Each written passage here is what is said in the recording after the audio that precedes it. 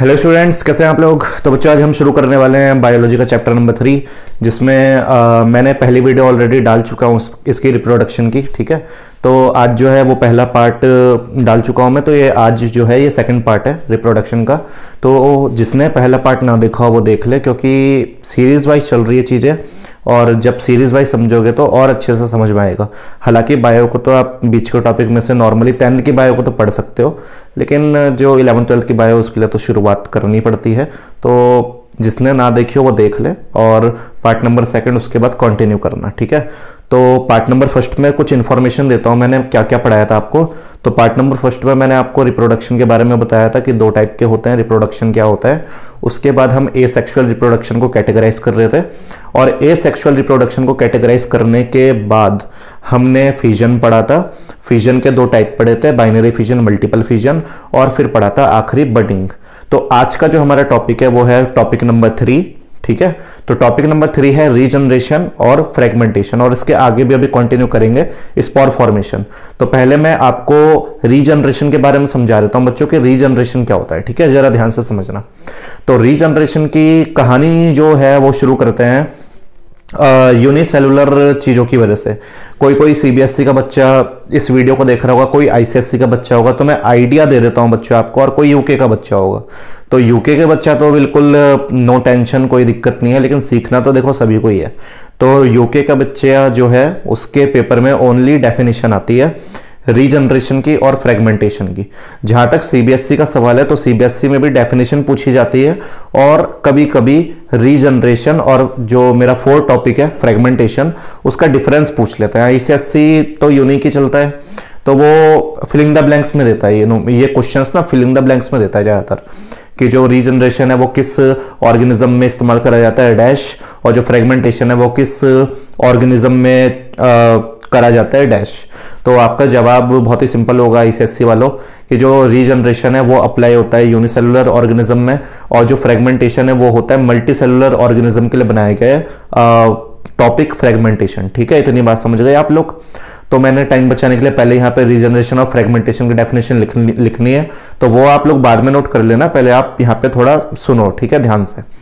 तो आ, देखो बात क्या है। बात यह है कि हमारे पास एक एक यूनिसेलुलर ऑर्गेनिज्म होगा जैसे कि हम एक ऑर्गेनिज्म प्लेनेरिया को मान लेते हैं। प्लेनेरिया हमारा एक ऑर्गेनिज्म है ठीक है? ये यूनिसेलुलर ऑर्गेनिज्म है।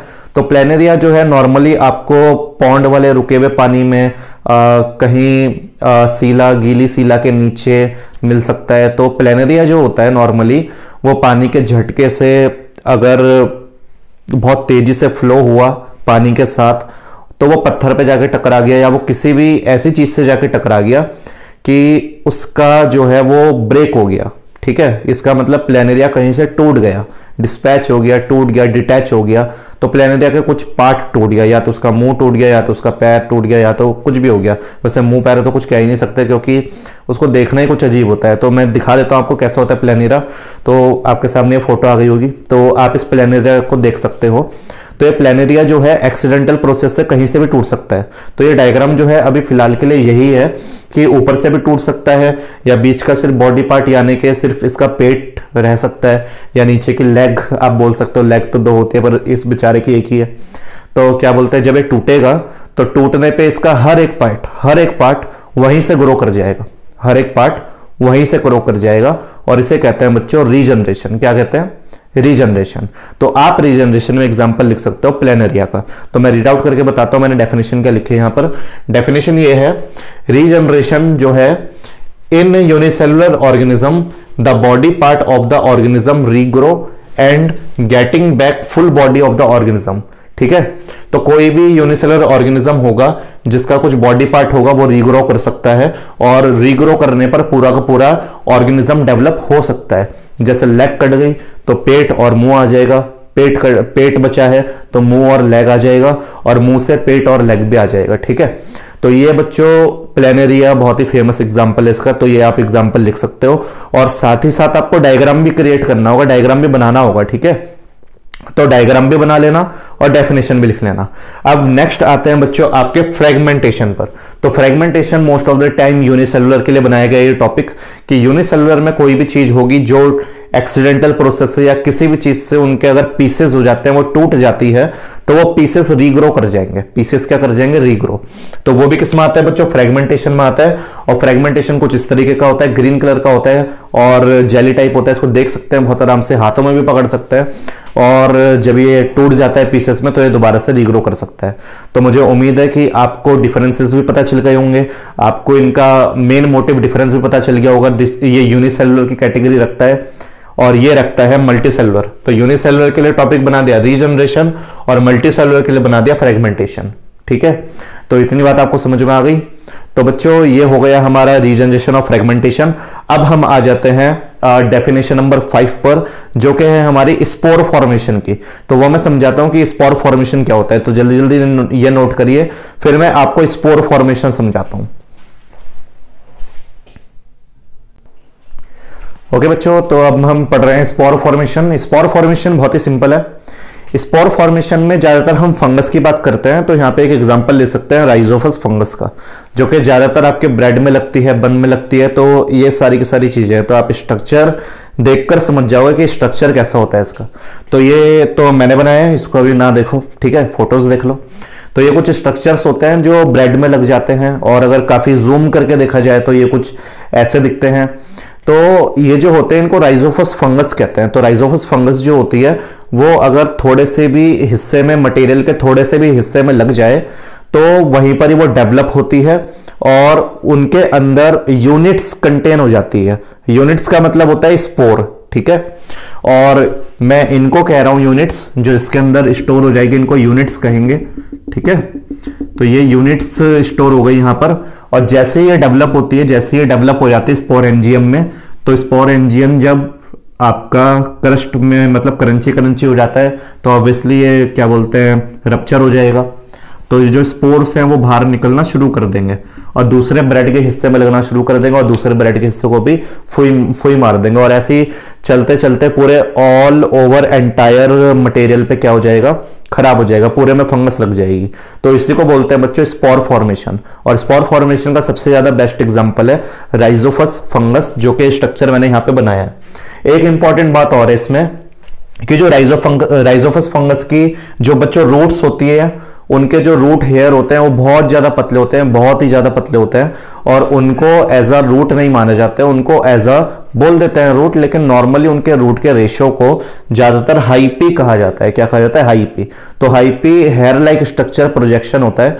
तो कभी कभी वन मार्क्स में आ जाता है पेपर में तो आप लिखोगे thread like projection called hyphae तो ये आपका हाई पी होता है। तो ये भी हमारे स्मॉल फॉर्मेशन भी हो गया बच्चों, ठीक है? तो अब मैं आपको सिखाता हूँ इसमें कि हम आर्टिफिशियली आर्टिफिशियली किस तरीके से चीज़ों को ग्रो कर सकते हैं, ठीक है? आर्टिफिशियली जैसे हमारे किसान लोग हो गए तो वो भी क्या बोलते हैं आर्टिफिशियली ग्रो करते हैं काफ़ी चीज़ें।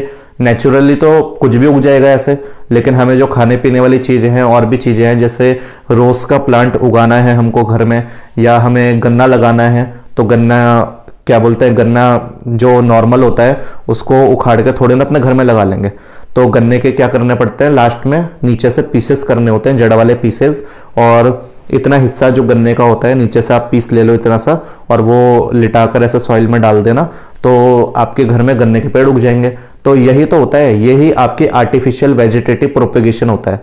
तो आर्टिफिशियल वेजिटेटिव प्रोपेगेशन का मीनिंग ये है कि जो मैनमेड होता है मैनमेड जो प्लांट उगाए जाते हैं उनको आर्टिफिशियल वेजिटेटिव प्रोपेगेशन कहते हैं ठीक है? और ये तीन तरीकों से आप कर सकते हो तो वो तीन तरीके मैं बिल्कुल डिटेल में आपको बताऊँगा और आपको लिख, लिखना पड़ेगा। तो पहले आप ये लिख लो उसके बाद शुरू करते हैं आर्टिफिशियल प्रोपेगेशन वेजिटेशन ठीक है?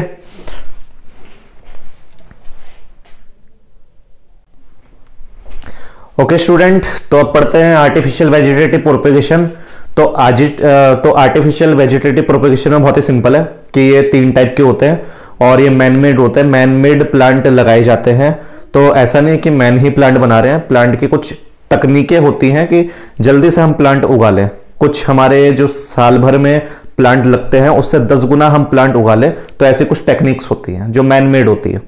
तो पहली जो टेक्निक है, वो है कटिंग तो कटिंग में बच्चों करना ये होता है कि कटिंग में आप डायग्राम देख सकते हो, जैसे रोज प्लांट है।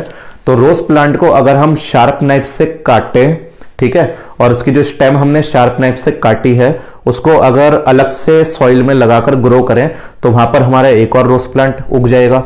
और ये बताओ कि हमारे पास बड़ा सा कोई रोज प्लांट है उसके हम कितनी स्टेम काट सकते हैं? एक समय पे हम उसकी दस स्टेम काट सकते हैं पंद्रह स्टेम का, काट सकते हैं। तो वो दस पंद्रह स्टेम अगर हम लगाएँगे तो हमें कुछ ही समय में दस पंद्रह रोज के प्लांट मिल जाएँगे।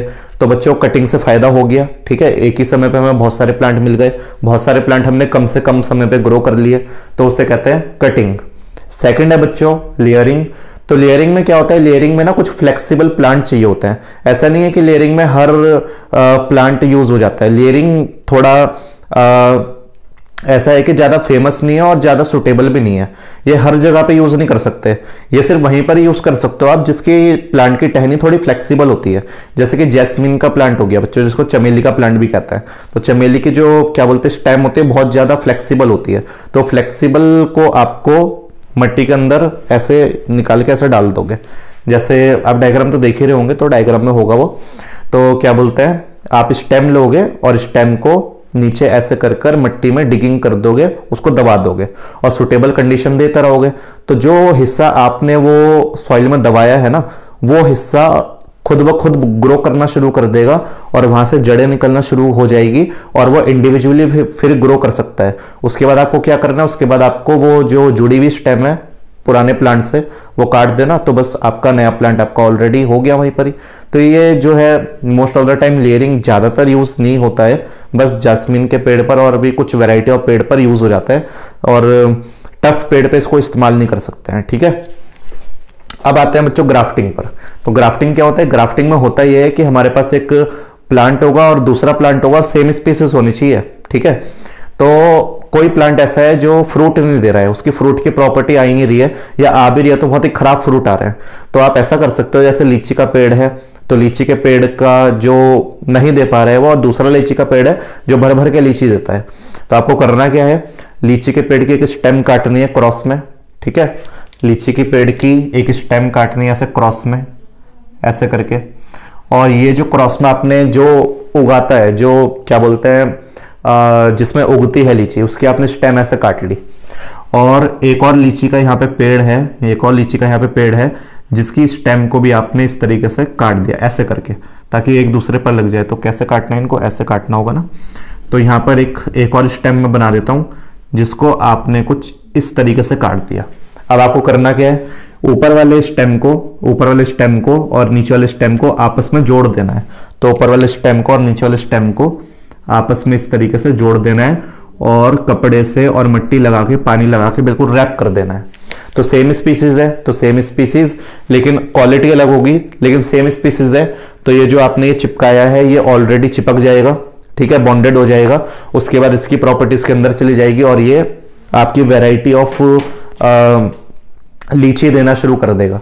ऐसे ही आप संतरे में भी कर सकते हो ये चीज़। ऐसे ही आप का, काफ़ी वैरायटी में कर सकते हो ये चीज़ें ठीक है? तो इनको हाइब्रिडाइजेशन करना भी कहते हैं ग्राफ्टिंग को। तो आपको आ गया समझ में आर्टिफिशियल वेजिटेटिव प्रोपोगेशन कैसे होता है? अब मैं आपको सिखाऊँगा बच्चों नेचुरल वेजिटेशन जो नेचुरली होता है हमें कुछ करने का नहीं होता बस वो नेचुरली हो जाता है। तो ये तो आर्टिफिशियल है। तो अब मैं पढ़ाऊँगा आपको पॉइंट नंबर सेवन जो कि नॉर्मल हो जाता है बाय नेचुरली कोई मैन मेड काम नहीं होता खुद ही नेचुरली उग रहा है जो भी उग रहा है ठीक है? तो इसको नोट करो उसके बाद आगे करते हैं।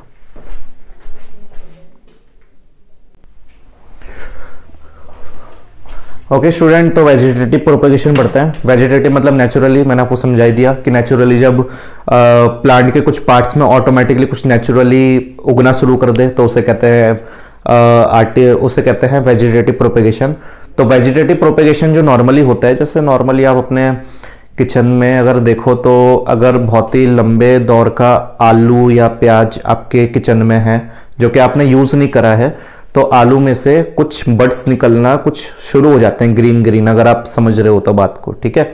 तो जैसे आलू में से बर्ड्स निकल जाती है ऑनियन के ऊपर में से पूरा क्या बोलते हैं, सब्ज़ी टाइप निकल जाती है तो वो बल्ब ऑफ़ ऑनियन होता है।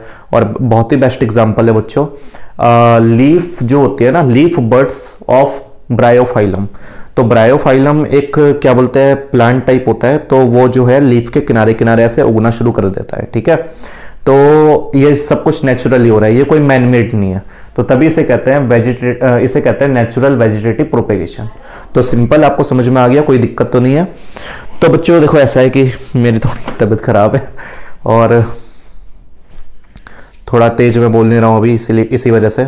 और जो तीसरी वीडियो होगी, वो होगी सेक्सुअल रिप्रोडक्शन के ऊपर, जिसमें आपको काफ़ी मज़ा आएगा और बहुत सारी चीज़ें नई सीखने को मिलेगी। और आपको एक्चुअली में पता चलेगा कि जो हम प्लेजर समझते हैं, वो प्लेजर नहीं असल में। वो कुछ और ही है, वो टेक्निकल चीज़ें हैं बहुत सारी, ठीक है?